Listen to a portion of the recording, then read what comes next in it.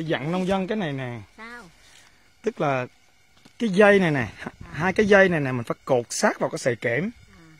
Nếu mình cột mà không sát nó sẽ gãy gãy ra một cái tình trạng giống vậy nè bị thấp dây nè. Nó bị tắc dinh dưỡng giống như cái chồi nãy con mới lật ra đó nè. nó hở dày phải không ạ? À, cái cái chồi nó lên ví dụ con nói ví dụ chồi nó lên nó quặt qua đây. Ừ. cái nào nó gãy chúng ta phải cột sát nó lên. Để chúng ta giảm thiểu cái vấn đề gãy cành.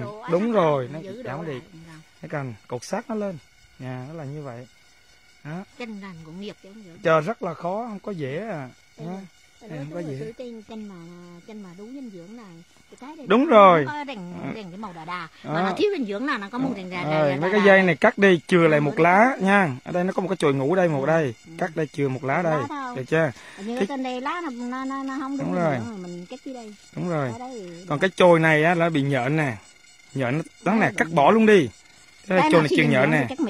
đó à, thì phải cắt sát lên đây luôn nha. yên tâm là cây chanh á là chúng ta đó sau khi thu hoạch xong chúng ta chừa lại đúng một mắt lá ha. Nhưng mà nếu cái cái gốc nào mà nó to thế này này chừa. Mà gốc này nhỏ cắt sát lên đây luôn. là cái nào dinh dưỡng thì cắt quanh cắt sát luôn đúng rồi. Đó. đó. yên tâm nó có một cái chồi ngủ ở đây nữa nè. Đó. Nó dây nữa nè. Còn. Mấy người mà trên mạng mà bày mà cắt chừa ra hai ba ba chồi là sai vô cùng Vậy sai luôn. đâu, đâu đúng rồi nó rối đâu, mà nó rối mù rối tịch luôn ha. Có mấy cái tiểu tiết như vậy. Cái dặn nông dân. Đúng rồi nè rau không ra trước ngọn này các chồi này cắt bỏ hết đi không có đậu trái đâu. Nè rau không ra trước ngọn nè. đúng rồi con ý con nói vậy. Nè còn như cái này nè thì chúng ta đi lặt cái ngọn đi thì rau không ra trước ngọn nè lặt đi thì hy vọng À, nhưng mà cái dây trên này thì phải cố gắng phải tăng dinh dưỡng lên để cái dây này nó dài xuống dưới đây nè. Nó quấn cái rau vào bất kể cái gì. Rồi lúc đó chúng ta mới cắt. Như vậy thì chúng ta giảm vấn đề về gió nha. Rồi.